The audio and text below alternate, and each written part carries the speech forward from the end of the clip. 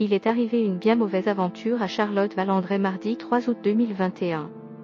Elle a sans doute vécu ce que redoutent toutes les personnes sur la route des vacances, tomber en panne sur l'autoroute.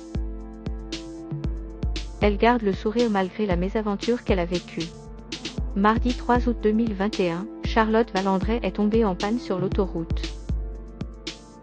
C'est sans aucun doute la hantise de tous les vacanciers. Mais contrairement à d'autres personnes, elle a décidé de le prendre avec le sourire alors qu'elle a rapidement été mise en sécurité par un dépanneur. Sa voiture remorquée, elle a pu monter à ses côtés et semble avoir passé un moment fort sympathique. En panne sur l'autoroute. Dépannée par Ludovic de Montsur, a-t-elle écrit en légende d'une vidéo où elle raconte son périple, sur son compte Instagram. La comédienne a assuré que c'était la première fois que ça lui arrivait elle avait pris le départ de Paris pour se rendre au Valandré, en Bretagne où elle doit passer quelques jours de vacances.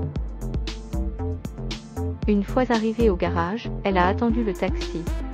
Avec ses chats et toutes ses valises, elle a tout de même pu rejoindre son lieu de vacances pour son plus grand bonheur. Charlotte Valandré a une capacité à rebondir et prendre tout avec le sourire qui est assez remarquable. Alors qu'elle a dû se battre contre de nombreux problèmes de santé, elle a toujours fait preuve d'une force incroyable. À l'âge de 18 ans, elle a été diagnostiquée séropositive avant de devoir faire face à des problèmes de cœur. J'ai été séropositive à 18 ans et quelque chose s'est brisé en moi. J'ai moins écouté de musique. Après ma greffe cardiaque, j'ai eu une période où le silence a fait partie de ma vie, avait-elle confié au début du mois de juillet 2021. De quelle maladie est atteinte Charlotte Valandré?